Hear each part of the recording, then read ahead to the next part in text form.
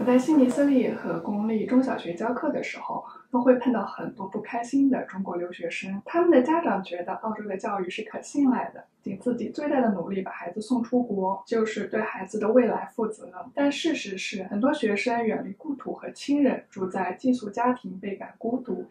或者一个家长在国内赚钱，另一个家长在澳洲陪读，常年过着异国分居的生活。很多学生因此内心焦虑，学习成绩上不去，又觉得对不起父母，心理负担非常重。尤其是非常多的学生被中介忽悠到分评非常差的学校，花着一样的钱，上着质量不高的学。各位可以在澳洲教育官网 My School 搜索中介推荐的学校，客观的对比这些学校的 NAPLAN 成绩、学校规模、财政状况等因素，再做决定。这。这里是教育博主阿图的生活圈，我们下期见。